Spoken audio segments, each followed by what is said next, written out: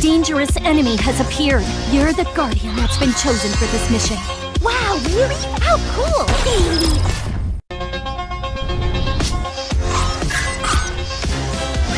and now, in the name of the moon, I'll punish you!